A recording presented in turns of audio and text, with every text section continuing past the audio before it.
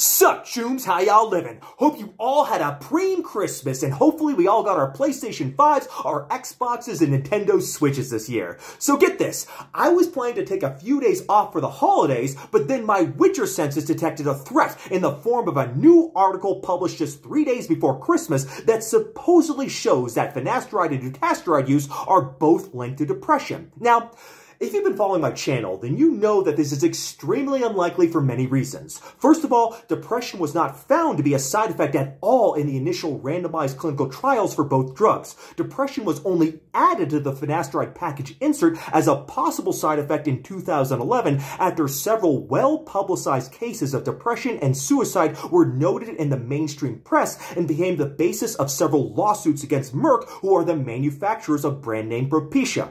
Without any scientific data at all, Merck then took the easy way out and added depression to the list of possible side effects for finasteride. Of course, finasteride-hating trolls will bring this up ad nauseum in order to exaggerate finasteride's supposed dangers, but lawsuits do not have to be grounded in scientific evidence to be effective. Lawsuits whether they are frivolous or not, will always be expensive to fight, and that is why Merck eventually caved to this pressure. It's obvious that adding this side effect was Merck's way to avoid litigation, because dutasteride still doesn't have depression listed as a side effect even today, and that's despite the fact that dutasteride is an even stronger 5-AR blocker than finasteride is. Of course, What's the first thing every finasteride hater does when you question the validity of finasteride's mental side effects? They'll screech, but my neurosteroids! And they'll have this big emotional meltdown at anyone who points out the very obvious holes in their argument. So what is the basis for all this fear-mongering, you may wonder? Well, it's just a bunch of meaningless rodent studies that aren't applicable to human beings. I've shown in several videos already that I'll link below that rodent studies on the effects of finasteride on things like mood and behavior are not at all relevant to human beings because in rodents, finasteride is a very strong blocker of the type 1 5-AR isoenzyme while it only has a negligible effect on the type 1 5-AR isoenzyme in humans. When I say negligible effect, I really, really mean it. In fact, with finasteride in human beings, the blockade of the type 1 5-AR isoenzyme is about 100 times weaker than the suppression of the type 2 5-AR isoenzyme. This is important to remember because the predominant 5-AR isoenzyme in the brain is the type 1 5-AR isoenzyme. Dutasteride blocks both the type 1 and type 2 isoenzymes, but keep in mind that dutasteride is the 5-AR blocker that doesn't even have depression listed as a side effect on the package insert, despite the fact that it is a more potent 5-AR inhibitor than finasteride. So with that in mind, you wouldn't expect finasteride in human beings to have any effect on neurosteroid synthesis in the brain,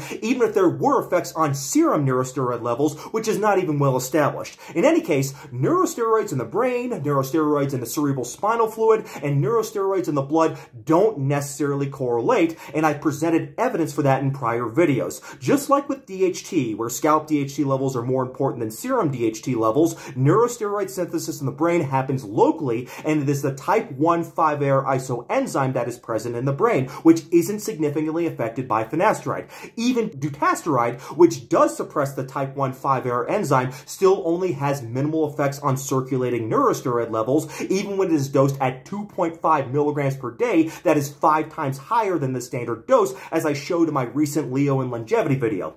Interestingly enough, in that video, I showed that high-dose dutasteride dutasteride in women with premenstrual dysphoric syndrome actually improve their symptoms of anxiety and depression. So the bottom line here, chooms, is that there hasn't been any clear-cut proof that users of 5-AR blockers are prone to any neurological side effects like depression or brain fog, whether it be through the use of finasteride or dutasteride. Both drugs are perfectly safe. But you want to know what's really, really freaking depressing here, chooms? It's hair loss. I'm not even kidding here. I've done videos on why going bald can outright ruin your life and can even ruin your health. And I'll go ahead and link them below. But this new study that just came out once again seems aimed to try to link finasteride and dutasteride use to depression. So that's why I felt I should analyze this new study because it has all the hallmarks of becoming yet another anti-finasteride propaganda hit piece vehicle, just like the garbage articles from Dr. Trash and Dr. Earwig that get posted by finasteride haters all the goddamn time.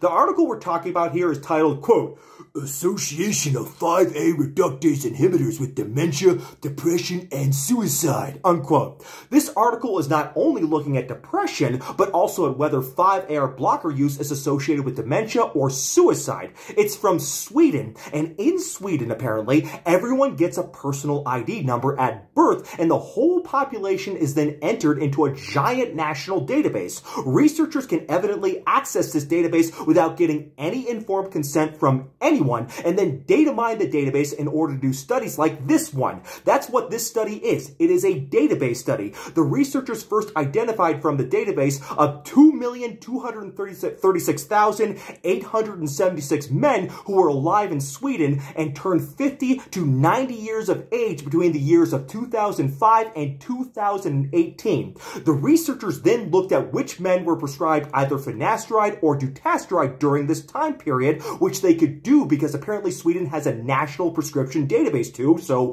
hooray for socialism, I guess. So anyways, the researchers only looked at men who were on 5-AR blockers for benign prostatic hyperplasia, also known as BPH, and they actually excluded men who were on these drugs for any other indication, including hair loss. So the people who were on finasteride were almost certainly on 5 milligrams per day of finasteride for the treatment of BPH, and not the usual 1 milligram per day dose for hair loss. So we need to keep all that in mind mind too when we're interpreting the results of this study here. They also looked at men who had BPH but were treated with the other common type of medication for BPH, which is a classification of drugs called alpha blockers. These drugs don't block the 5-AR enzyme, but instead they block part of the sympathetic nervous system, which ends up relaxing smooth muscles and allowing better urine flow through an enlarged prostate. An example of a drug like this would be tamsulosin, also known by the brand name of Flomax. The investigators looked through the data to see how many men received a diagnosis of dementia, including Alzheimer's disease, or a diagnosis of depression during follow-up. They also looked at how many committed suicide and used a very objective endpoint for suicide, namely people who died from suicide and not just attempts at suicide. So that's all pretty morbid right there. Anyways, the investigators also used some statistical tricks to account for the fact that the groups of subjects they were comparing were not really comparable in their health status. People who are being treated for BPH are not the same as people who don't have BPH. In fact, people who go to the doctor for any condition are frequently less healthy and often have other medical conditions than people who don't go see doctors. It turns out that the people getting 5-AR blockers were a sicker group than the ones not receiving these drugs. And the evidence for this is that there were differences between the groups in the incidence of diabetes and hypertension, as well as the use of beta blocker drugs that are usually used to treat heart disease. This is outlined here in Table 1, which we'll look at in more detail in a moment. The invest investigators themselves note that there were major differences in the study groups. They used some statistical tricks to try to eliminate these confounding factors, but they really are just tricks. And so it's not surprising at all that we might end up seeing differences between the groups when we look at the results. So what were the results? Well, regarding dementia, on first analysis, it appeared that there was an association between the use of 5-AR blockers and dementia, but this association disappeared the longer the subjects were on the 5-AR blockers. The authors of the study felt that this association may have been spurious because when people present themselves for treatment of BPH, they sometimes are found to have previously undiagnosed dementia at the same time. Remember, we're talking about men over the age of 50 here. In fact, when the investigators more accurately assessed the data by excluding men who had been on 5-AR blockers for uncertain amounts of time before the period of the study, they found that, quote, Associations of 5-AR inhibitors with dementia and Alzheimer's disease were no longer significant, unquote. On the other hand, the investigators felt that there was an association between taking 5-AR inhibitors and depression that lasted throughout the study period. Here you see the graph showing the risk of depression over time and the slight increase in the risk of depression for men on any treatment for BPH. So as it turns out, this increase in depression was not just for men using 5-AR blockers for BPH, it also occurred in men being treated for BPH with just alpha blockers like tamsulosin, which again are not at all related to 5-AR inhibitors.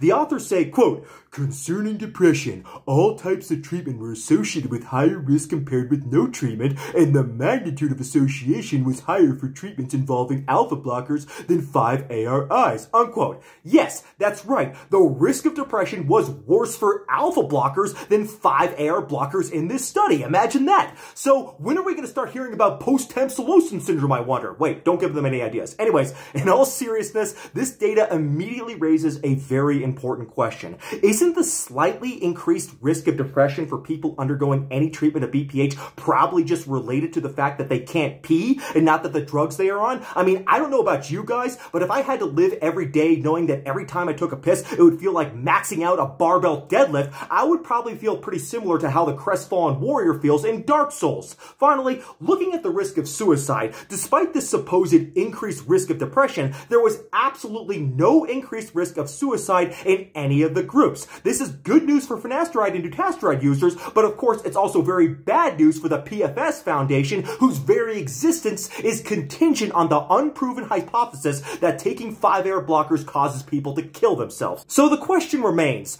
does this study show that there is an increased risk of depression from taking 5-AR blockers? The answer to this is no, and that's because the groups are not at all comparable. First of all, from the table in the paper, it's clear that a lot more people on 5-AR inhibitors were taking beta blockers than in the other groups. Why is this important? Because one of the side effects of beta blocker use is, you guessed it, it's depression. And one major reason people are on beta blockers is heart disease. So the logical conclusion here, Chooms, is that in general, people taking 5-AR inhibitors in this study likely just had more medical conditions than the people not on 5-AR blockers.